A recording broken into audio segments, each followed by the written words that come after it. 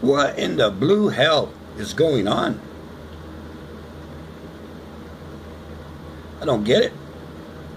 All my family and friends on YouTube are dropping like flies all of a sudden. I got a brother who wants to drop like flies because he doesn't have lots of views on the music channel. Um, but you just started, brother, and you have moved so many people with your music, and we have moved a lot of people with the work we're doing. You know, uh, doesn't happen overnight. It, it takes work. Anything worth a damn, okay, takes work. Whether that's your channel or a relationship. If it's worth a damn, you got to work at it. You know, give and take. You can't quit. We just got started. We got songs to do. You've got songs to do. And I know for a fact that a lot of people, a lot of our friends, which is the important thing, a lot of our friends love you and love your music. Like me. I love you and I love your music too. So, what's more important to you?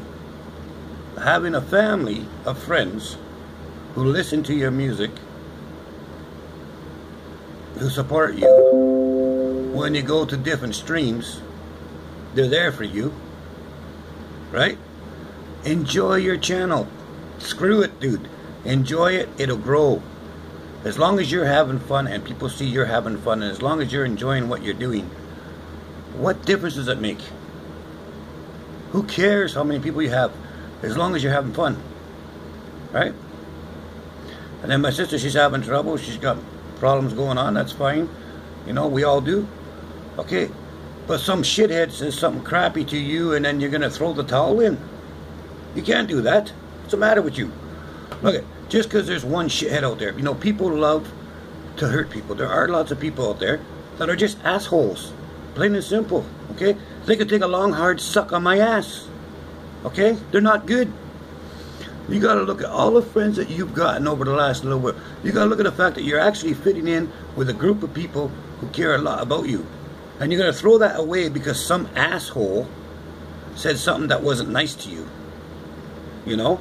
Screw him. Screw him. It's called delete comment and move on. Okay? Don't you dare put any faith in what this jerk off says. Okay? You stay where you belong.